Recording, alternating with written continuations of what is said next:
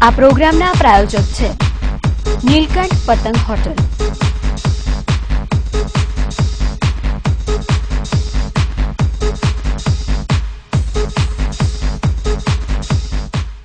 નમસ્કાર દર્શક મિત્રો, અતિથિમાં ફરી એકવાર આપનું સ્વાગત છે. અતિથિ એટલે એવો કાર્યક્રમ કે જે કાર્યક્રમમાં વિશિષ્ટ વ્યક્તિત્વ સાથે આપની મુલાકાત કરાવે છે અને વાતો કરીએ છીએ અંદર. આજે અમારી સાથે ખરેખર અતિથિ એવો છે કે જેમાં બોલકા માણસો હોય તો બહુ ગમે. અને બહુ ઓછા એવા લોકો હોય છે કે જેને બોલવું ગમતું હોય અને કામ પણ મળે બોલવાનું. ઇન્ટેલેક્ચ્યુઅલ લર્નેડ અને સાથે સાથે લોકો સાથે જોડાયેલા એવા નેતા કોંગ્રેસના spokesperson doctor Shakeel Ahmad. Shakeel ji आपका स्वागत है कार्यक्रम में। बहुत धन्यवाद। शकील जी सबसे पहले तो पूछना चाहूँगा डॉक्टर नर्स पकड़ते पकड़ते हिंदुस्तान के लोगों की तकलीफें क्या होती है? कैसे उसका इलाज ढूंढा जाए? उसकी नर्व्स पकड़ने का धंधा आपने ढूंढ लिया rather sorry to say you you chosen the profession of politics now now now how how you entered Of course, I belong to a traditional uh, political family. My grandfather was a freedom fighter and he was MLA in 90, Congress MLA in 1935-37. After his death in 1948, he died at a comparatively young age. My father became MLA and remained MLA and Deputy Speaker of Bihar for 28 long years. He was in politics, um, out of which uh, for 23 years he was MLA there. In Bihar for seven years he was Deputy Speaker uh, Bihar Legislative Assembly. So after his somewhat premature death in uh, 1981, uh, I was doing my house job, house surgeonship. And after completion of house surgeonship, of course, I was also inclined to join politics. And people close to him, after his death, my father's death, they literally forced me. Of course, I was also somewhat willing to, to, to, to join to keep that fam- fam- लेकिन कहाँ बल मिला कि लोगों का प्यार है इतना हमारे परिवार के प्रति? तो शायद इस परिवार के रिप्रेजेंटेटिव और उनकी विचारधारा के रिप्रेजेंटेटिव के तौर पे शायद आपने भी सोच लिया कि हम भी इस दौर में जाए। नहीं देखिए एक बहुत रोचक घटना है इस संदर्भ में। मेरे पिताजी जीवन भर हम लोगों से कहते रहे कि मेरे बच्चे अगर मेरी बात नहीं मानेंगे तो राजनीति नहीं ज्वाइन करेंगे। इसलिए कि इसमें बहुत त्याग करना पड़ता है। और वो बड़े पुराने जमींदार परिवार के थे, बहुत ज़्यादा ज़मीन थी। तो वो कहते थे, मुझको तो इतनी ज़मीन थी जो मैंने बेच ली और मैंने पॉलिटिक्स किया। मेरे बच्चों को क्या मिलेगा जो ये पॉलिटिक्स करेंगे और फिर हम पाँच भाई हैं बंटवारा होगा, ये लेकिन पिता से हम लोगों का ज़रा बहुत अदब मानते थे तो कुल उनके सामने खुल के बात नहीं करते थे। मगर पता नहीं क्या हुआ। मैं हाउस जॉब कर ही रहा था कि एक दिन उन्होंने मुझसे ऐसे ही मैं घर में था उन्होंने पूछा तुम्हारा क्या प्रोग्राम है? तो मैंने कहा कि मैं पूरी हाउस जॉब खत्म करने के बाद डॉक्टरी करने विदेश चला जाऊँगा। तो उन्होंने कहा कि नहीं तुम्हारे बारे में सुनते हैं कि तुम पॉलिटिक्स करना चाहते हो। तुम चाहो तो करो तुम कर लोगे। For the first and last time we discuss this issue. After two months, he expired. So, that one sentence of his, एक उनका जो वाक्य था कि तुम तुम्हारे बारे में सुनते हैं कि तुम पॉलिटिक्स करना चाहते हो तुम चाहो तो करो तुम कर लोगे तो ये हमारे लिए बहुत बड़ा मोरल बूस्टिंग था और आफ्टर हिज डेथ मैंने पहले कहा कि हम भी थोड़ा हमको भी रुचि थी और उनके जो नज़दीक के लोग थे, चूँकि बाबा थे, दादा जिनको कहते हैं, वो थे, फादर थे, लगभग 26 साल मुझको भी हो गया। शकील जी, यहाँ यहाँ पूछना चाहूँगा, आपने बहुत स्पेसिफिक वर्ड एक यूज़ किया कि हमारे दादा ने त्याग बहुत किया। पॉलिटिक्स के लिए बहुत त्याग किया। मेरा सीधा सवाल, त्याग की बात आती है पॉलिटिशियंस त्याग के बारे में बात भी करते हैं। व्हाट डू यू फील कि कॉमन पीपल क्या इसको एक्सेप्ट कर लेता है? क्योंकि आज की तारीख में शायद त्याग की बात करना ये within house within forum ये अच्छा लगता है ये वर्ड भी अच्छा लगता है।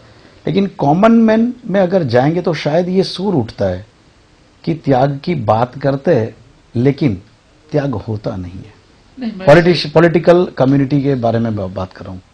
देखिए, मैं इससे सहमत नहीं हूँ। कुछ लोगों की वजह से सारे लोगों को कोई बदनाम कर दे, ये उचित नहीं है। ये बात सही है कि पॉलिटिक्स में जीवन के हर एक तरह से विभाग जो है, उसमें जो मोरल वैल्यूज़ का डिटोरिएशन हुआ है। और पॉलिटिक्स तो देश की, या पॉलिटिशियंस जो होते हैं, वो देश की जनता के प्रतिनिधि होते हैं। और वहाँ भी डिटोरिएशन हुआ है। पॉलिटिशियन चूँकि लोगों की आँख में रहता है सामने रहता है मीडिया उनके बारे में लिखता है अखबार उनके बारे में लिखता है टीवी चैनल उनके बारे में डिस्कशन करते हैं लोग आपस में उनके बारे में बात करते हैं क्योंकि वो पब्लिक से डायरेक्ट अटैच रहता है।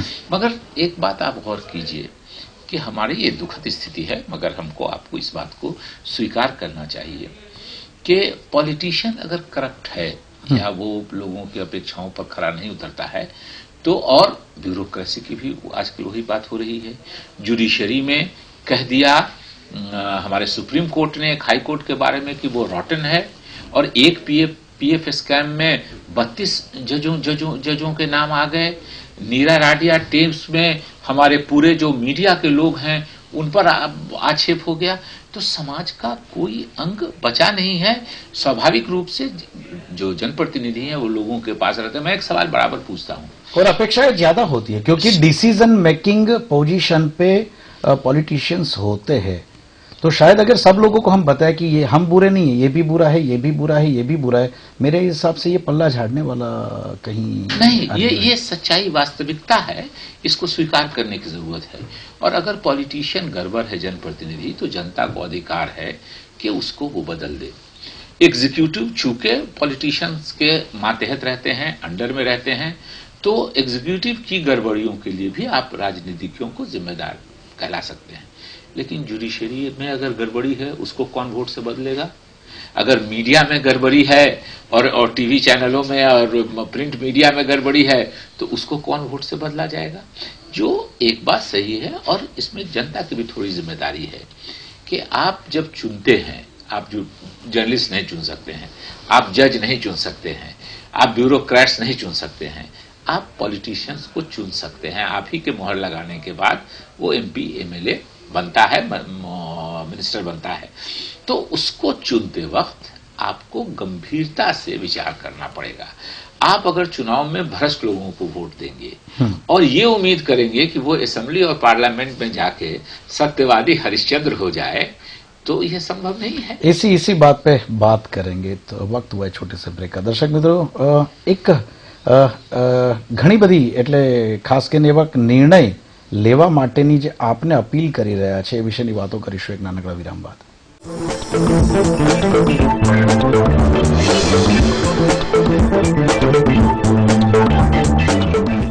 વિરામ બાદ ફરી એકવાર સ્વાગત છે આપનું કાર્યક્રમ અતિથિમાં શકીલ અહેમદજી સાથેની વાત આગળ ચલાવી शकील जी आपने बताया कि लोगों को सोचना चाहिए वोट देते वक्त कि किसके हाथ में बागडोर दे रहे हैं अपने नगर की, अपने वार्ड की, अपने राज्य की, या तो इस देश की? लेकिन बात यहीं पे आके अटकती है कि पॉलिटिशियन कहते हैं कि आप सही नहीं चुनते, लेकिन लोगों के सामने ऑप्शन भी शायद चुन चुन के पॉलिटिकल पार्टी भी रखती है। और मेरे हिसाब से इसमें भी आप एग्रीड करेंगे कि कास्ट फैक्टर भी काम में आता है। वोट लेने की क्षमता बाय हुक बाय क्रुक वो भी देखा जाता है, क्योंकि अल्टीमेटली वॉर है, जीतना तो है ही। तो लोगों के पास ऑप्शन ही नहीं रहेगा तो how they are going to choose a proper candidate देखिए, बहुत ही स्पष्ट है कि राजनीतिक दल इस बात का ध्यान रखते हैं कि कौन हमारा मज़बूत कैंडिडेट है। जात और बिरादरी का ख्याल रखा जाता है। धर्म मूल और गोत्र का ख्याल रखते हैं राजनीतिक दल। लेकिन ये क्यों रखते हैं? इसलिए कि जनता इसी पर वोट देती है। बनाया कि ये ये, ये माहौल बनाया किसने शकील ये, जी ये सवाल है राजनीतिज्ञों ने बनाया। लेकिन अगर जनता स्ट्रिक्ट रहेगी कि हम देखिए एक बात समझ लीजिए। कोई सड़क ऐसी कोई नेता नहीं बना सकता है जिस पर सिर्फ़ एक जात और एक धर्म का आदमी चले। कोई नेता ऐसे अस्पताल नहीं खुलवा सकता है, जिसमें सिर्फ़ एक जात और एक धर्म के लोगों का इलाज हो सके। कोई नेता ऐसी बिजली नहीं जलवा सकता है, जिसकी रोशनी की सिर्फ़ एक धर्म और एक जात के लोगों को मिले। पॉलिटिशियंस का या जो जनप्रतिनिधि हैं, उनका यही काम है। लेकिन इसको चुनते वक्त में अगर आप इस पर ध्यान देने लगेंगे, उसके और अगर राजनीतिक दल पाँच राजनीतिक दल हैं और पाँचों ने गलत कैंडिडेट खड़ा किया है। जनता को इतनी शक्ति है और सैकड़ों जगहों में लोगों ने निर्दलीय को जिताया है। और अगर आप इस पर फैसला करने लगेंगे देखिए जनता जैसा चाहती है पॉलिटिकल दल वैसा ही करते हैं। नाउ यहाँ मैं सीधा लेके आता हूँ आपको इजिप्ट वाली बात पर। बहुत अभ्यास आपने किया होगा। ये पूरे इंटरनेशनल सिनेरियो पे ये एक माहौल बना है। लोग चाहे आपने बताया कि लोग चाहे कुछ भी कर सकते हैं। डोंट यू फील कि शायद वो हवा धीरे धीरे बाकी के देशों में भी फैलेगी? Because because you can not compare Egypt because वहाँ तो एक हाइट हो गया था शायद। लेकिन ये भावनाएँ ये बातें ये कहीं अंदरूनी बातें धीरे धीरे लोगों में होने लगी है कि yes people have right to change any government अगर उनको लगता है कि पानी सर के ऊपर जा रहा है। I am talking about inflation rate and everything देखिए, बिल्कुल इजिप्ट की जनता बधाई के पात्र है। इतने दिन हो गए, इतने एक तरह से विरोधी अटैक के बाद भी वो आंदोलन हिंसक नहीं हुआ। लेकिन इजिप्ट की तुलना या दूसरे जो देश हैं जहाँ जनतंत्र नहीं है, इजिप्ट में जनतंत्र नहीं है। हमारे यहाँ जनतंत्र है पूरी पूरी पूरी, पूरी तरह। और इजिप्ट की स्थिति यहाँ बनने की आवश्यकता नहीं है। अगर किसी सरकार को लगा है कि सरकार के बारे में ये ये गया है मैसेज कि ये जनता के हित की नहीं है और जनता उसके खिलाफ हुई है तो सारी मज़बूत से मज़बूत सरकारें बदल दी गई इस देश में। इस देश में आप गौर कीजिए 1977 में इमरजेंसी के बाद इमरजेंसी के दौरान कांग्रेस का शासन इंदिरा जी का नेतृत्व बहुत ये था। लेकिन एक भ्रम की स्थिति पैदा हुई, देश में एक माहौल बना कुछ सही, कुछ गलत, कुछ अफवाहें, और लेकिन देश की जनता ने चाहा तो इंदिरा जी जैसी सशक्त मुख प्रधानमंत्री का शासन चला गया, वो खुद चुनाव हार गई, उनके पुत्र संजय गांधी जी चुनाव हार गए। ये बात सही है कि दो ही साल के बाद जनता को हुआ कि हमको गुमराह किया गया और फिर इंदिरा जी को इस देश की जनता ने प्रधानमंत्री बना दिया। यही जनतंत्र की शक्ति है कि यहाँ और यही सबसे बड़ी खूबी है इस देश की और दुनिया जो आज प्रशंसा करती है भारत की कि यहाँ जनतंत्र है। आज हमसे लोग नाराज़ हो जाएँगे। लोग पाँच साल के लिए अपना प्रतिनिधि चुनते हैं। और अगर उनको लग गया बीच में कि हमने गलत प्रतिनिधि चुन दिया तो उनको पूरा मौका मिलता है आगे वाले। और चुनाव आयोग ने इस देश के समय के साथ अपनी अपनी जो मजबूती है अपनी जो निष्पक्षता है वो वो वो दिखाई है और बड़ी बड़ी सरकारें बदलती जाती हैं। शकील जी अ, लोगों से अपेक्षा बहुत रखते हैं पॉलिटिशियंस लोगों को ये करना चाहिए लोगों को ये करना चाहिए लोगों को ये करना चाहिए। लेकिन क्या आपको लगता है कि ग्राउंड से जुड़े हुए नेता की बहुत कमी है आज? लोगों को अपना नेता लगे, ऐसे नेता का नाम आप जैसे सीनियर लीडर्स को भी मैं पूछूँगा तो भी शायद एक, दो, तीन उससे ज़्यादा मुँह पे नहीं आएँगे। क्या लोगों से अंतर पॉलिटिकल पार्टीज़ के टॉप लीडर्स का धीरे धीरे बढ़ता गया है? ये ये मैं मैं जमीनी हकीकत आपके मुँह से, क्योंकि सही बयान, आप आप बहुत स्पष्ट तौर पे अपने ख्याल रखने वाले हो। और जो है, वही आप बोलते हो। क्या आप मानते हैं? नहीं, देखिए, ये बात सही है कि पिछले 10-12 सालों में या 20-25 सालों में मैं कह सकता हूँ कि जनता और नेता के बीच की दूरी वैसी नहीं है जो पहले थी। उसका कारण है कि आज़ादी के पहले की जो लीडरशिप की पीढ़ी थी, जो बाद तक, बहुत 20-22 सालों बाद तक आज़ादी की आई उन्होंने और जनता ने एक साथ संघर्ष किया था अंग्रेज़ों के खिलाफ। कॉमन फैक्टर में कंधे से कंधा मिला के बड़े से बड़े इस देश के नेता ने और आम जनता ने मिलके ये वो किया था। आज़ादी के बाद से जब सिलसिला शुरू हुआ लीडरशिप का तो जब तक वो पीढ़ी रही, उस पीढ़ी के लोग रहे, जिन्होंने संघर्ष में जनता के साथ कंधे से कंधा मिला के काम किया था वो रास्ता निपटा रहा। मगर धीरे धीरे धीरे धीरे जो बात की पीढ़ियों में सभी पार्टियों में बहुत से ऐसे लोग आए जो चूँकि संघर्ष उन्होंने नहीं किया। संघर्ष करने का माहौल भी नहीं बन गया था, नहीं मिला मौका नहीं मिला था। देश वो स्वतंत्र हो गया था और जनता की अपेक्षाओं के अनुरूप सरकारें बन रही थी। तो वो दूरी बढ़ी थी लेकिन फिर भी आज भी जनतंत्र जहाँ है और जिस भी मुखिया को प्रधान को एमएलए को एमपी को यह है कि हमको पुनः जीत के आना है उसको कोई दूसरा विकल्प नहीं है सिवाय इसके कि वो अपनी जनता के पास जाए लेकिन लेकिन लेकिन शकील जी इसके सामने इसके सामने इसी पहलू को हम पकड़े। अगर इसी सवाल को इसी बात को हम पकड़े तो राष्ट्रीय नेता यानी राष्ट्रीय फलक पे जिस नेता अपनी एक इमेज बना दी है या तो बना रहे हैं। उसके सामने रीजनल पार्टीज़ के लीडर्स है टॉप लीडर्स शायद उनकी जमीनी पकड़ ज़्यादा है। और ये बात दो मेन स्ट्रीम में जो भी पॉलिटिकल पार्टी है, भारतीय जनता पार्टी और आपकी कांग्रेस, ये दोनों शायद इससे परेशान है। या तो फिर मैं अच्छे लफ्जों में कहूँ तो शायद वो इतना जुटा नहीं पाई है जितना रीजनल पार्टी अपने प्रदेश में लोगों के साथ तालमेल जुटा पाइए, अपनी फेवर में कर पाइए वोट बैंक ये ये शायद अगेन चिंता का विषय जो आपके विद इन पार्टी भी ये डिस्कशन कई बार हुआ है। हाँ नहीं, देखिए, जो रीजनल एस्पायरेशंस हैं, जो क्षेत्रीय कुछ आकांक्षाएँ हैं, उनको पूरा करने के लिए वो जनता की भावना है, उसको क्षेत्रीय पार्टियाँ अपने फ़ायदे के लिए इस्तेमाल करती हैं। लेकिन जैसे जैसे जनता को ये रियलाइज़ होता है कि साहब ये जो क्षेत्रीय एस्पायरेशन है, ये इससे हमारी पूरी नहीं हो सकती है। और इसने हमारा को, हमको एक्सप्लाइट किया है, हमारा भावनात्मक दोहन और शोषण किया है तो फिर जनता, जो मेन स्ट्रीम की पार्टियाँ हैं, जो राष्ट्रीय पार्टियाँ हैं, उनकी तरफ़ लौटती है। आप ये करेंगे, अभी कुछ चुनाव होने वाले हैं।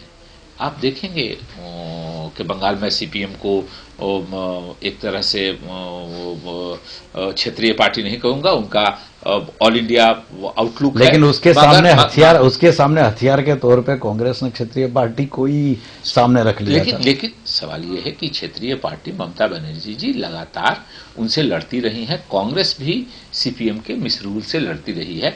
और हम दोनों मिल करके कहीं कहीं क्षेत्रीय मतलब अ, के- लोहा काटने के- लिए लोहा चाहिए। कहीं कहीं क्षेत्रीय पार्टियों से समझौता कांग्रेस ने भी किया है और भाजपा ने भी किया है। बिहार में नीतीश जी की पार्टी क्या है? वो क्षेत्रीय पार्टी है।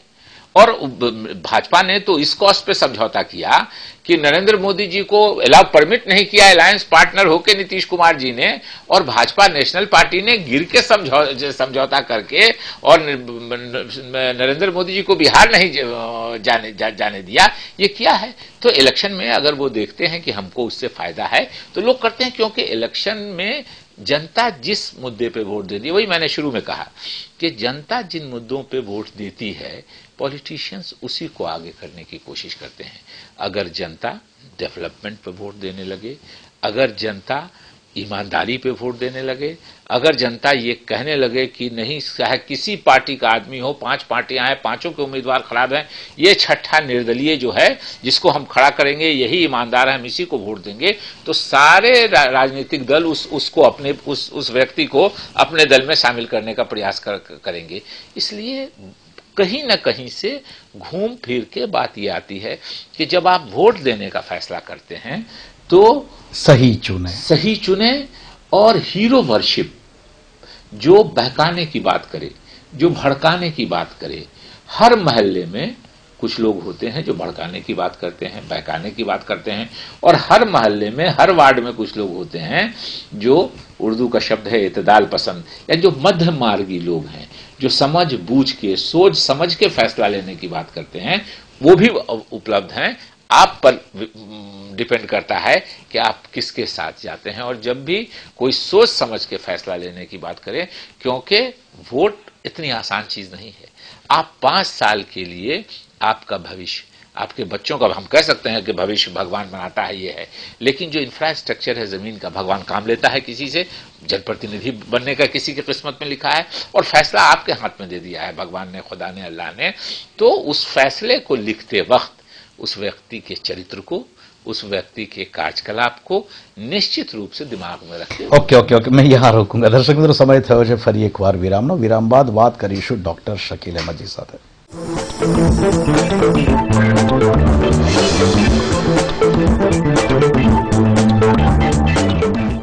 विराम बाद फरी एक बार स्वागत है आपन कार्यक्रम अतिथि माँ। शकिल जी, कहा जाता है कि स्पॉक्स पर्सन बनना कठिन बात होती है। क्योंकि क्योंकि क्योंकि। किसी ने बोल दिया, किसी ने कर लिया, अब कहीं लिपापोसी करने का काम आ जाता है प्रवक्ता के सर पे। और और मतलब ये ये ये एक बहुत कठिन है कि हमने कुछ किया नहीं। अभी बचाने के लिए, चलो डैमेज कंट्रोल के लिए। तो कई बार कई बार किसी को बचाते बचाते बचाते बचाते कहीं ऐसा होता है कि अरे यार, शकील जी, सोचो तो सही, कहीं एक बार बैठ के।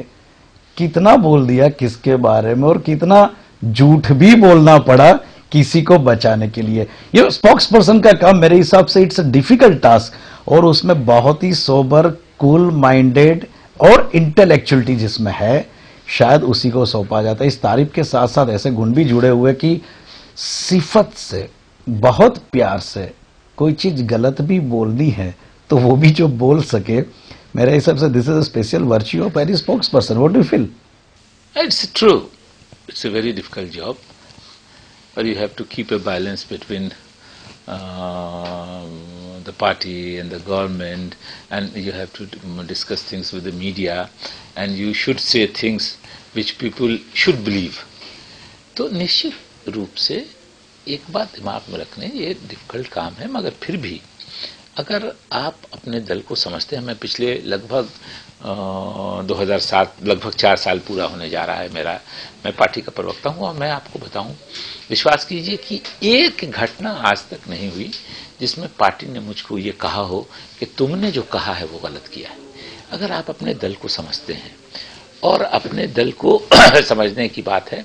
अगर हमारे भी किसी व्यक्ति ने कोई गलत काम किया है, और तो उसको स्वीकार करना और उसको कहना कि हम सुधार की कार्रवाई करेंगे, मनुष्य देवता नहीं होता है। जो राजनेता हैं, ये देवता नहीं है, ये आसमान से उतरे हुए लोग नहीं है। इनको जनता ने इस देश की चुना है। अच्छे भी हैं, जनता से चुनने के वक्त में कभी धोखा भी होता है। तो अगर उनसे कुछ गलती हुई है, हमारे पार्टी के लोग हैं, उनको ये करना हमारा कर्तव्य है। लेकिन एक हद तक अगर लगेगा कि ये पार्टी के से रहित हो रहा है ये देश के हित में नहीं है तो कोई स्पोक्स पर्सन अगर वो सही स्पोक्स पर्सन है और बेसिकली आपकी ज़िम्मेदारी पार्टी से है पार्टी के साथ साथ इस देश से है आप इस देश के के, के, के नागरिक हैं और ऐसा कोई बात आप ऐसे किसी व्यक्ति को डिफेंड करने जा रहे हो जिसने जिससे देश की को कोई घाटा होता तो उसमें अपना विवेक निश्चित रूप से इस्तेमाल करना शकील जी शकील जी यहाँ यहाँ थोड़ी थोड़ी अगर आप हम खुल के बात करें। अ, क्योंकि डिस्कस आप करते हो बहुत सारे क्योंकि अपोजिशन पार्टी के भी स्पोक्स पर्सन उनके साथ या तो मीडिया के साथ भी बात करते हैं। मुझे यहाँ पूछना एक पर्सनल बात। जब भी फ़ोन आता होगा कोई भी मीडिया हाउस से शकील जी आ जाइए इस मामले पे या तो हमारी टीम है अ, मैं पहुँचा देता हूँ ओबी वैन है आप इस बात पर डिबेट करनी है। पहला सवाल आता होगा सामने कौन है? Hmm. That is common question क्या लगता है, किसके साथ हेल्दी डिबेट करने में अपोजिशन पार्टी का ऐसा कौन सा स्पोक्स पर्सन है ऐसा लीडर है जिसके साथ हेल्दी डिस्कशन करने में शकील जी को खुद को भी कहीं मज़ा आता है? देखिए मेरा संबंध बिहार राज्य से है और जो मुख्य विरोधी दल है भाजपा, उसके दो स्पोक्स पर्सन बिहार से संबंधित हैं, रविशंकर प्रसाद जी और रूडी रूडी मेरे साथ एमएलए भी हुआ करते जब मैं बिहार असेंबली का मेंबर था तो रूडी वहाँ विरोधी दल में विधायक भी थे। तो हमारा आपस में रेपो है। लेकिन जब हम जाते हैं टीवी चैनलों में डिस्कशन के लिए, या कहीं पत्रकार वार्ता में तो हम अपनी अपनी पार्टी का प्रतिनिधित्व करते हैं। और एक बात का ख्याल ज़रूर रखते हैं, वो भी रखते हैं, और हम लोग को भी, और रखना चाहिए, ये मर्यादा है जनतंत्र की, कि एक लेवल से नीचे कोई बहस नहीं होनी चाहिए। व्यक्तिगत इंसान में कमज़ोरी होती है। लेकिन अगर हम नीतियों और सिद्धांतों की बात करते हैं, उस वक्त अगर हम व्यक्तिगत प्रहार करने लगे स्पोक्स पर्सन एक दूसरे पे तो इससे मतलब डिबेट का जो मज़ा है, वो जो सुनने वाला है, उसको भी बहुत सी जानकारी नहीं हो पाती है। और डिबेट हम एक दूसरे को नीचा दिखाने या ऊँचा करने के लिए नहीं करते हैं। डिबेट करते हैं कि हम जो बोल रहे हैं, मैं जानता हूँ कि हमारे विरोधी दल के स्पोक्स पर्सन है। ये कन्विंस नहीं होंगे और ये स्वीकार नहीं करेंगे। ये बात मैं भी जानता हूँ, वो भी जानते हैं। लेकिन मैं समझता हूँ कि जो जनता सुन रही है, जो जनता इस कार्यक्रम को आपके देख रही है, वो अगर ये फैसला करती है कि नहीं, ये आदमी जो कह रहा है ये ज़्यादा सही बात है वही सबसे संतोष की बात है। और हम लोग उसी का ख्याल रखते हैं। और निश्चित रूप से कंफर्ट लेवल मेरा सभी एक तरह से स्पोक्स पर्सन के साथ ठीक है। राजनीति में रहने के कारण व्यक्तिगत रूप से भी उनसे इंटरेक्शन होता है। लेकिन चूँकि मुख्य विपक्षी दल होने की वजह से भाजपा के जो प्रवक्तागण हैं उनसे मेरा rapport okay okay. Shakeel ji आ, क्रिकेट में कई एक दो गिने चुने बैट्समैन होते हैं, जिनके सामने शायद बाउंसर डाल दो, कोई भी जगह पे स्पिन के लिए आप बॉल को पीच करें, लेकिन उस बैट्समैन को बीट करना या उसको आउट करना बहुत मुश्किल होता है। शायद ऐसा ही हाल कांग्रेस को नरेंद्र मोदी के सामने आता है। मौत का सौदागर बाउंसर डाल दिया बहुत सारी गुजरात की योजनाओं को केक के रिपोर्ट में भी कहीं उछालने की कोशिश की एसआईटी के बाद भी कहीं कठहरे में लाने की कोशिश की लेकिन नरेंद्र मोदी कहीं पकड़ में नहीं आते क्या क्या क्या कहना चाहेंगे What do you feel? Really, you are going to accept uh, he's a mass leader or he's a gimmicks? This is all. और समाज को बांट के घृणा फैला के राजनीति कभी अच्छी नहीं होती और कभी लंबी नहीं होती है। देखिए, अंग्रेज़ों ने अठारह के बाद से जब उनको बहुत परेशानी हुई, उस अठारह की क्रांति को दबाने में, और वो क्रांति ऐसी थी कि सबसे बूढ़े और सबसे कमज़ोर मुगल बादशाह बहादुर शाह ज़फ़र के हाथ में वो क्रांति थी। तो अंग्रेज़ों ने जब ये विवेचना की कि क्या मामला क्या है तो हुआ कि क्यों इतनी परेशानी हुई हमको दबाने में? तो हुआ कि पूरा भारत भावनात्मक तौर से हिंदू, मुस्लिम, सिख, ईसाई अगड़े पिछड़े, दलित सब मिल के आपके खिलाफ हो गए थे। तो अंग्रेज़ों ने एक डिवाइड एंड रूल की पॉलिसी अख्तियार की। और उसका फ़ायदा हुआ अंग्रेज़ों को कि उन्नीस सौ सैंतालीस से लेके, अठारह सौ सत्तावन से लेके उन्नीस तक 90 सालों तक उन्होंने इस देश पे और शासन कर लिया। लेकिन आज के अगर हमारे कोई मुख्यमंत्री या प्रधानमंत्री डिवाइड एंड रूल करके पाँच दस साल शासन कर लेते हैं तो उनको अपने को बहुत तीस मार खाने ही समझना चाहिए। अंग्रेज़ों को नब्बे साल के बाद ही सही हिंदुस्तान के लोगों ने खदेड़ के इस मुल्क से अलग कर दिया। जो डिवाइड एंड रूल करने वाले लोग हैं, वो बहुत ज़्यादा दिन नहीं चलते लेकिन ये लेकिन ये आर्ग्यूमेंट कई बार, कई कांग्रेसी दिग्गजों ने कर दी। लेकिन गुजरात की जनता के मेरे हिसाब से जो प्यार मिल रहा है उनको, क्योंकि रिज़ल्ट दिखा रहा है। शायद ये बात गले नहीं उतरती क्या क्या मानते हैं? इसको इसको इसको इसको आप कांग्रेस की फेलियर समझेंगे? नहीं नहीं देखिए। Till ten years they have not broken any single pillar in Gujarat देखिए Gujarat it's a failure of Congress या it's a great success of Modi no how how you नहीं मुझे बहुत अगेन कैसे कैसे आपको इसको इवेल्युएट करेंगे? मैं आपको बताता हूँ। गुजरात में लोकसभा चुनाव में हमारे रिज़ल्ट अच्छे हुए हैं। विधानसभा में भी कुछ सीटें बढ़ी हैं मगर उतनी नहीं बढ़ी हैं जितनी ज, ज, जितनी बढ़नी चाहिए। और ये बात सही है कि जो गुजरात में लोगों को बांटा गया उसका उसका भी फ़ायदा उनको हुआ है।